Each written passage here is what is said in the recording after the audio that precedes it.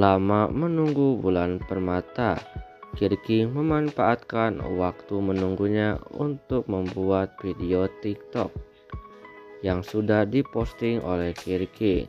Terlihat Kirking di sini memakai kacamata yang di mana bulan permata juga punya alias kapelan.